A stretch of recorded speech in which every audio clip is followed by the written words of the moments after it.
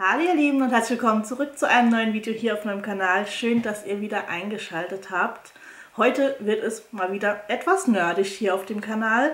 Ich hatte in letzter Zeit sehr, sehr viele Buchvideos und so gut wie keine nerdigen Videos, seien jetzt Do-it-yourself oder sonstige nerdige Dinge. Deshalb habe ich mich in mein schönstes Harry Potter Outfit geworfen, denn, ihr habt es im Titel wahrscheinlich schon gesehen, wir unboxen heute die Kinderjoy mit den Quidditch Harry Potter Figuren. So sieht das Ganze aus.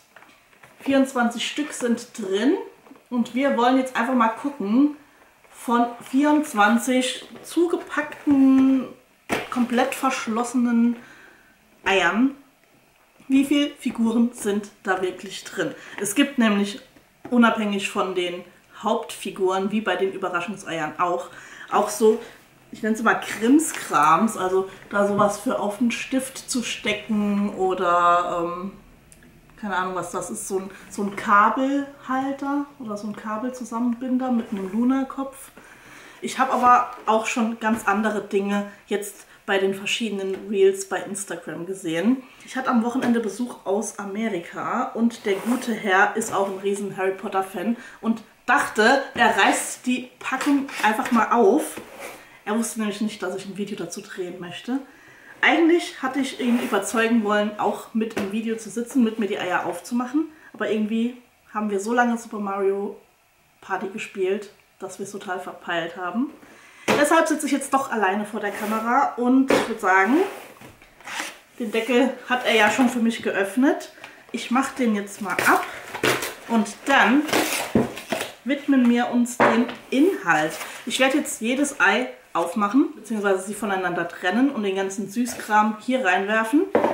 Und dann machen wir uns an den spannenden Part, nämlich an das Auspacken der Figuren oder des Spielzeugs.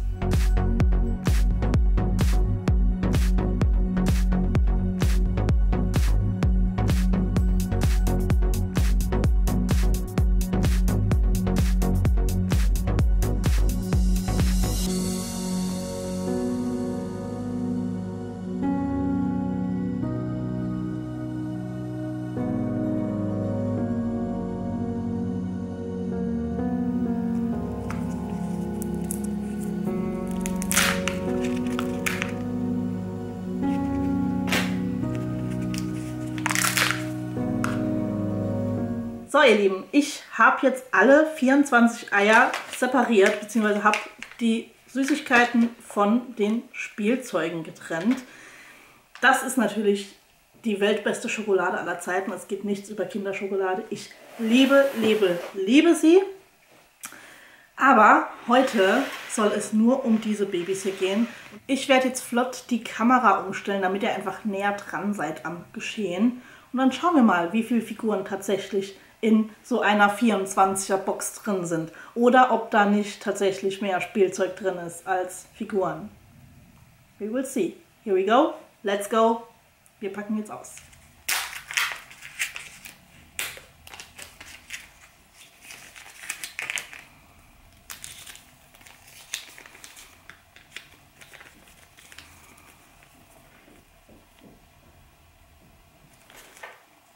Ein Lesezeichen. Das ist für mich auf meinem Buchaccount natürlich auch wieder sehr, sehr praktisch. Das hier.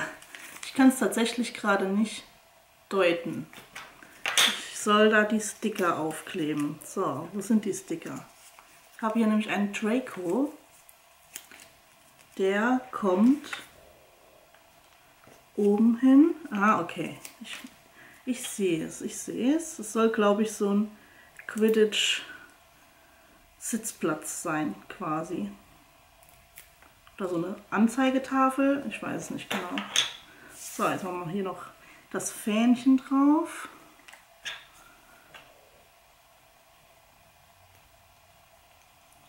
Da noch das kleine Fähnchen und dann sollten wir es haben.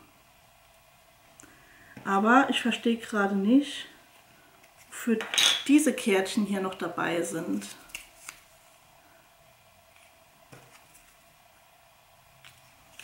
Das werden wir im Laufe des Videos vielleicht noch herausfinden.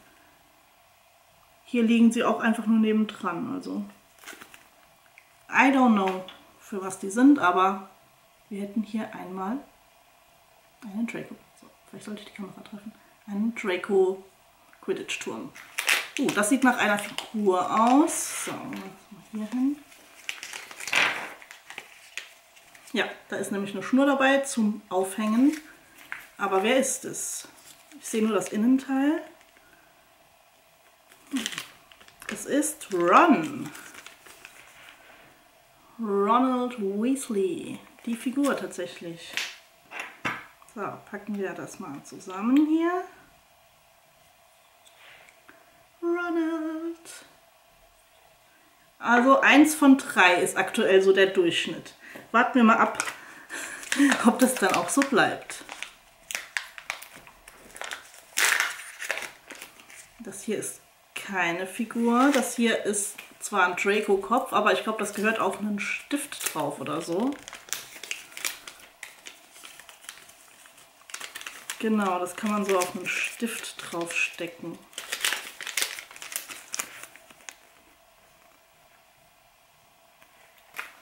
Ist auch so ein Gummi dabei.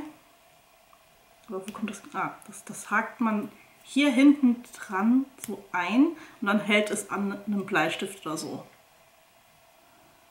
Irgendwie sieht es aus, als wäre ein Draco-Kopf auf einem Käferkörper. Aber ich glaube, es soll ein Quidditch-Besen ja sein. Und in der Mitte ist das Slytherin-Wappen, falls man es erkennen kann. Das ist Luna, aber das ist auch kein, keine Figur. Ich glaube, das ist das Ding, das draußen auf dem Karton war. Genau, damit kann man Kabel zusammenbinden. Wir den Luna-Kopf noch drauf. So.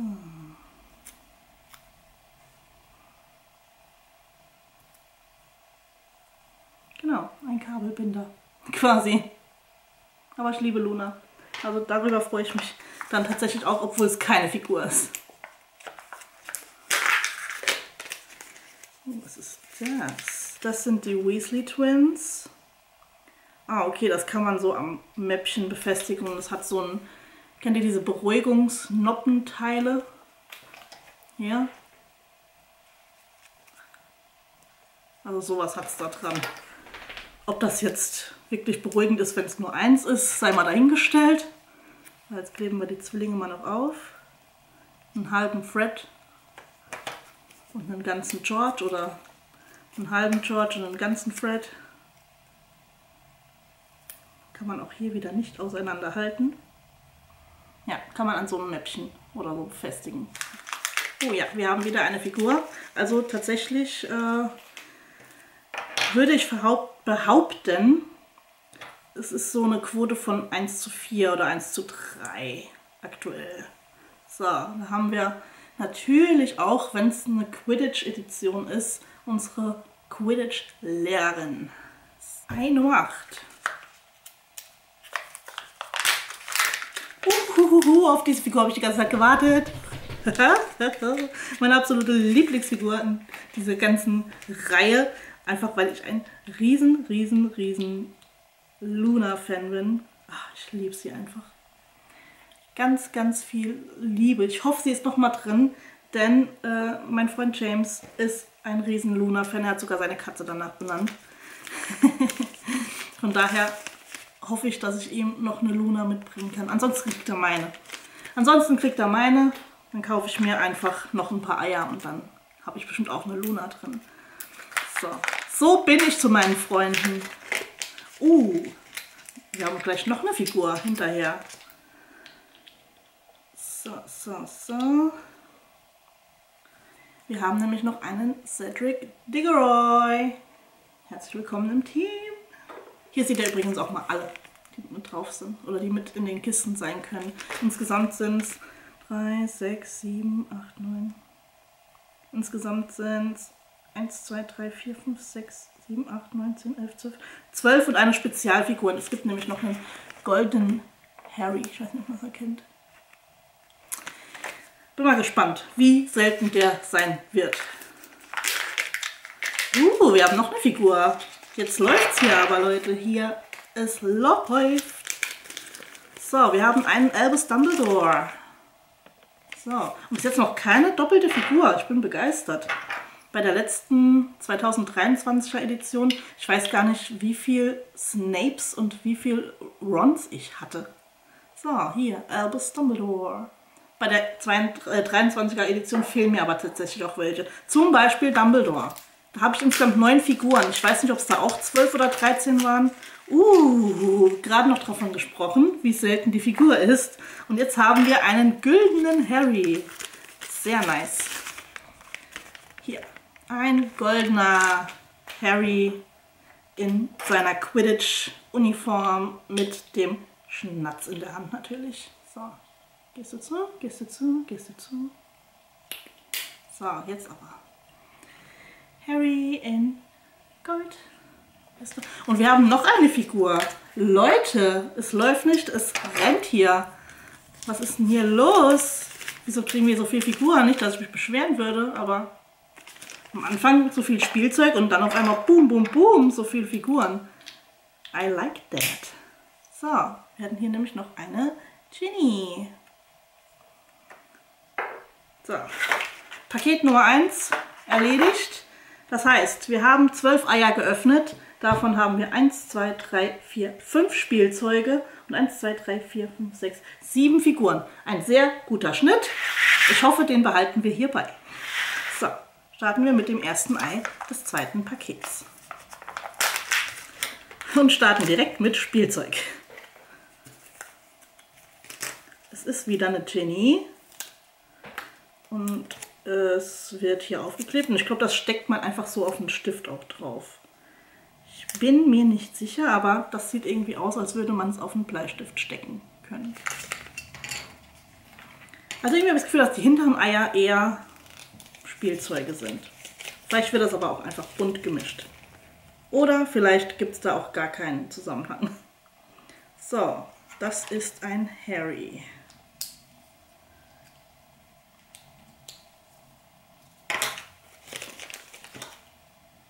Was kann man damit machen? Man kann ein Kabel reinstecken. Das sehe ich jetzt irgendwie nicht so. Ach so, wenn es offen ist. Wenn es offen ist, kann man quasi hier ein Kabel durchführen. Und dann hat man quasi einen Harry am Kabel an seinem Ladegerät. Hier haben wir so ein Beruhigungsteil. Diesmal mit Harry und den Quidditch-Toren. In Rot, äh, in Gelb diesmal.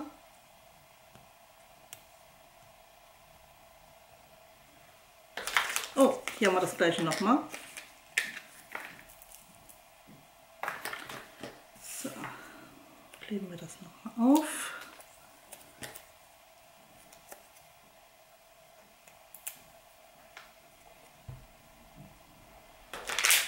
Oh, und hier haben wir den Draco Käfer nochmal. Ich weiß nicht, wie hoch die Variation an den Spielzeugen ist, aber wir haben jetzt schon zwei doppelte. So, das hier haben wir aber noch nicht. Kann man auch wieder an ein Mäppchen dran machen. Und man kann verschiedene Figuren aufkleben, die man gerne möchte oder eben so ein Quidditch oder ein Schnatz-Symbol. Und vorne drauf soll wohl Ron so, mit einem Quidditch, äh, mit einem Gryffindor-Emblem. Aber was man jetzt mit diesen Stickern machen soll, das vielleicht für die Rückseite weil da ist keine Perforierung, wo man es dran machen soll. Also man kann sie vielleicht auch einfach auf andere Dinge kleben. Vielleicht sind die dafür gedacht, dass man irgendwie sein Notebook oder sein Kindle oder so verschönern kann. Oh, wir haben schon wieder einen Draco-Käfer. Also der scheint sehr oft dabei zu sein. sind wir auch schnell durch mit der Chose. Aber ich würde sagen, das zweite Paket war doch mehr Spielzeugplastik. Vielleicht sollte ich das öfter sagen. Jetzt haben wir nämlich noch eine Figur drin. Wen haben wir denn da? Irgendwie sieht der Hinterkopf nach Hagrid aus. Yes, einen Hagrid haben wir hier. Basteln wir den mal schnell zusammen. Hagrid. Ich hätte ja trotzdem gern noch eine Luna drin. Oh nein, wir haben aber noch einen goldenen Harry. So, die Schnur. Ah, die Schnur ist übrigens dafür gedacht, hier oben durchgefädelt zu werden. Also die kann man mit, mit reinmachen und dann äh, quasi hier hinten durchführen. Ich kann es euch gerade einmal zeigen. Wenn ich es jetzt gerade auf Anhieb hinkriege. So, hier durch und hier durch. Im letzten Jahr war es, glaube ich, Herbst, als die rauskamen und da hatte ich überlegt, ob ich mir die an den Weihnachtsbaum hängen soll. Auf jeden Fall eignet sich dafür, auf jeden Fall. So, und kommen wir zu den letzten dreien. Uh, yes. Da hätten wir einen Severus Snape.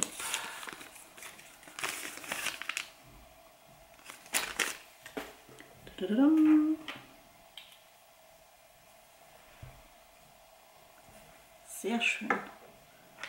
Trotzdem hoffe ich immer noch auf Luna. Oh nein, und zum 380. Mal einen Draco-Käfer. Ich muss das einfach so nennen, weil er einfach zu sehr nach Käfer aussieht. So, letztes Ei. Bitte sei eine Luna. Bitte sei eine Luna. Nein, es ist keine Luna mehr. Schade, schade, schade. Es ist eine Ginny. Erneut eine Ginny. So, das nehmen wir dich mal noch zusammen. So, das waren alle Eier. Wir haben sie alle ausgepackt. Jetzt kommen wir mal zu der Auswertung. Also, wir haben insgesamt, machen wir hier die ganzen Sticker weg, an Spielzeug. 1, 2, 3, 4, 5, 6, 7, 8, 9, 10, 11, 12, 13. Das heißt, von 24 Eiern waren 13 Spielzeuge drin. Von diesen 13 allein viermal der Draco-Käfer. Dann haben wir drei von diesen Teilen mit diesen Bobseln dran. Ein Lesezeichen, ein Kabelaccessoire. Was man damit macht, ich kann es euch einfach nicht sagen, was für eine Bedeutung das hat. Vielleicht einfach nur ins Regal stellen. Dann natürlich nochmal den Luna-Kabelbinder. Dann dieses Gerät hier, das für mich einfach wie ein Schlüsselanhänger ist, würde ich jetzt einfach mal behaupten. Und dann nochmal so eine Genie für auf den Stift drauf oder um sich eine Seite zu merken. Also kann man, glaube ich, auch so ein bisschen als Lesezeichen nutzen. Oder man kann es zum Beispiel in sein Tagebuch reinschieben, dort wo man halt gerade schreiben möchte. Und da macht man dann den Stift fürs Tagebuch rein. Wäre natürlich auch denkbar. So, und dann kommen wir zu den Hauptprotagonisten des Videos hier, nämlich zu unseren Figuren. Also, dann hätten wir nämlich zweimal Ginny. Ich halte euch nochmal nach vorne. Ginny war mit drin. Dann hätten wir oh, meine Holy Luna. Liebe, liebe, liebe. Und ich liebe ja auch sie mit dem Löwenkopf. Habe ich auch als Funko-Figur. Dann haben wir einmal Snape. Dann haben wir Ron in seinem wunderhübschen Quidditch-Outfit mit seinem wunderhübschen Helm. Passend dazu natürlich Madame Hooch. Dann haben wir Hagrid mit dem Fernglas. Cedric Diggory mit seinem Besen.